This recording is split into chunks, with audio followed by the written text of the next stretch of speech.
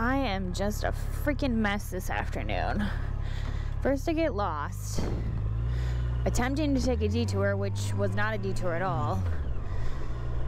And then I just exited here because I wanted to get some food and then realized I can't get back on 10 because I got to go over the freaking bridge. There's no other way to do this. I'm like, I, I am, I don't know where my head's at right now, but I know it's a lot to do with a lack of sleep.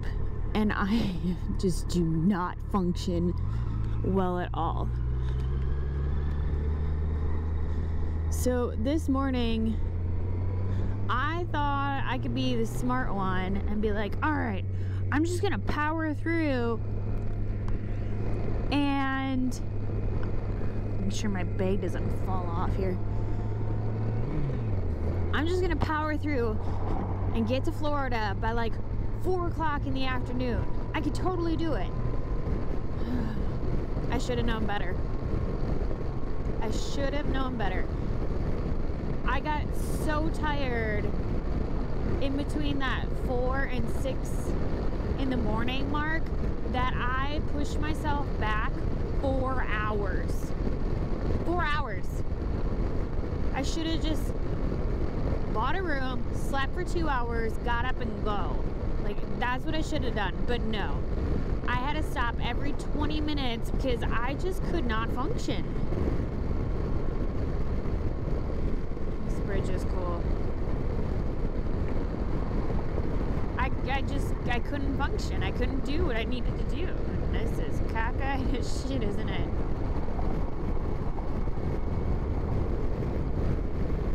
So now my whole schedule is pushed back five hours now, and I haven't even stopped for breakfast yet. It is 10 o'clock. I'm gonna be late to drop off Eagle Rider. Hopefully, they're gonna let me just deposit it because I have a flight leaving in the morning before they even open up on Sunday. So, I, it's just been a shit storm. morning and this afternoon, and it's it's not putting my birthday off very well. It started off good at midnight with the two guys that I met. Um, I guess they're Booze Fighters Motorcycle Club or something. I don't know.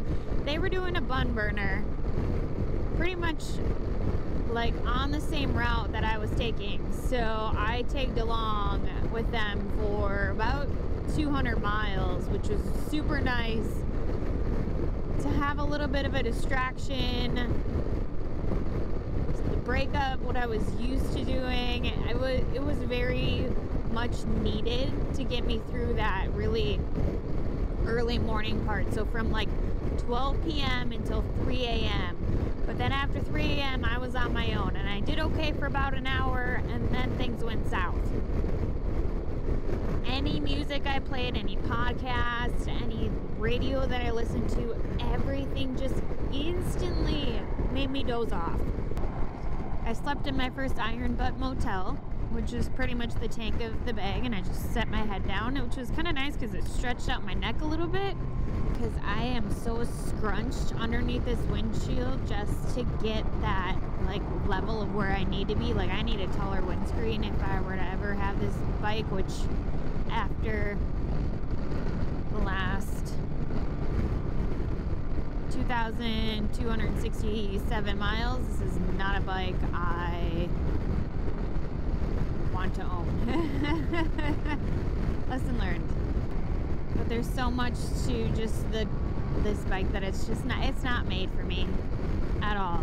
I can see how it's made for touring and all of that, but it has to fit you well and I would take the Pan America back in a heartbeat over this bike.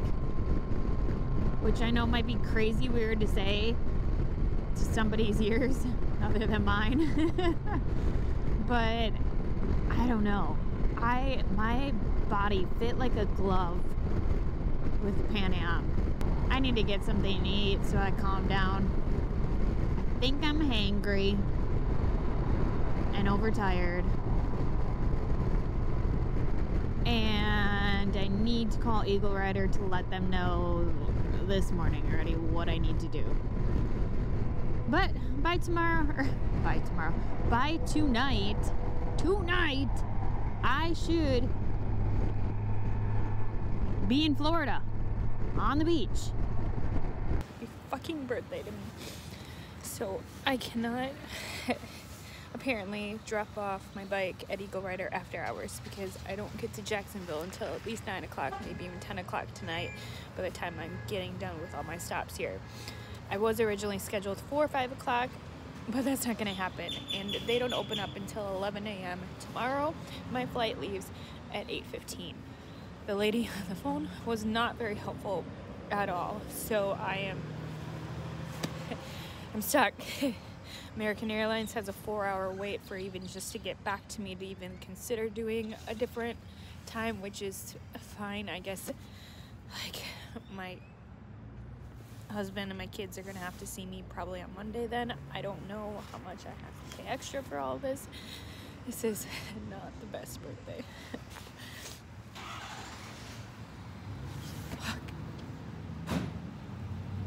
I know I should just keep moving because it's taking me even longer. God damn, this sucks. Made it to Florida, but I have a whole another five hours of Florida left before I hit the coast. And I am starting to feel very fatigued, very tired, very dehydrated, the whole mix, and it's not a good mixture once the sun goes down. So I think, am I planning right now, I will be at the coast at around 11 o'clock. So hope it goes well for the rest of the five hours I've got left on Highway 10. Interstate 10, same thing.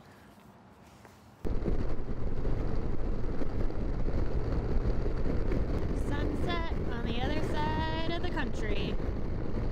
Even though I'm not quite on the ocean, pretty dang close only five hours away. 333 miles away. And it's gonna get cold very shortly here. I'm already feeling it. I'm shaking, but I think it's because I'm dehydrated from going for so long. It sucks. Oh, it really sucks. So I finished. I haven't done the numbers because I am so so cold right now. I'm shaking. I'm gonna go head to the beach and get my water and sand sample and then head to the hotel and do all the math after I take a long hot shower and everything else like that. So I will see you guys in a few and I'll celebrate then. You can see my breath in Florida. How is this possible right now?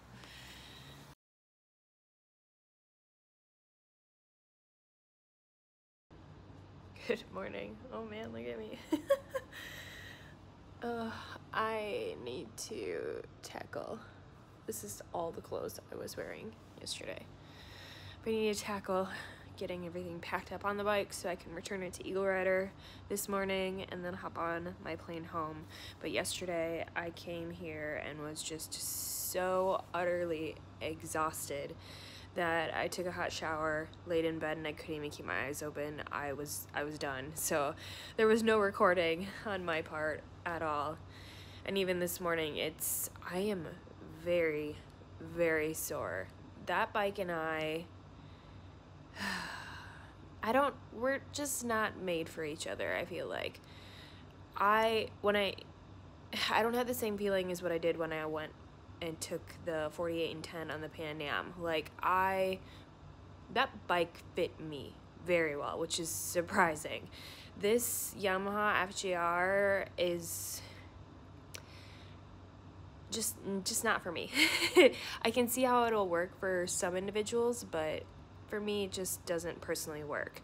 I'm sure there would be a lot of updates and things I'd have to do to it to make it fit me, but it's not worth it in my opinion. I would jump back on that Pan Am and do a coast to coast in a heartbeat for sure. Um, but lesson learned, I'm glad I did it. It's one of the bikes that I can cross off my list that is definitely not my long distance bike that I want to pursue which is good.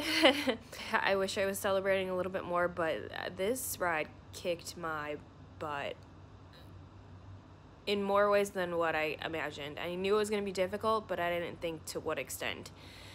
And I've learned a lot of lessons and things that uh, I have to take into consideration when I'm doing, uh, whenever I do the long distance endurance ride, rally rides.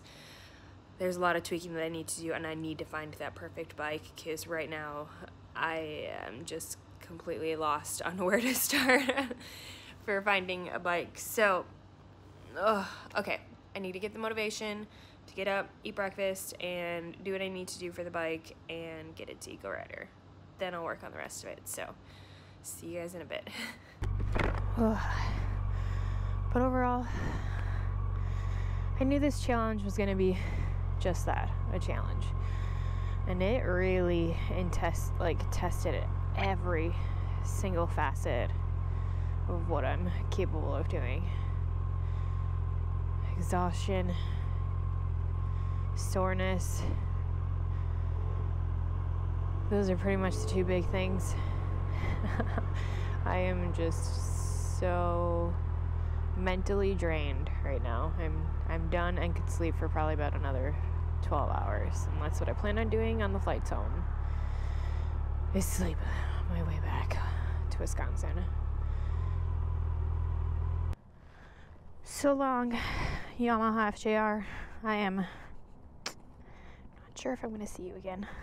I'm going to be honest with you.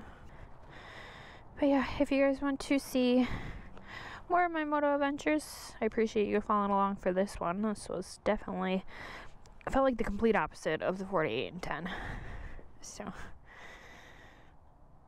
not my funnest ride, but definitely the most challenging so far. I'm glad I did it. But yeah, we'll see you guys in the next one.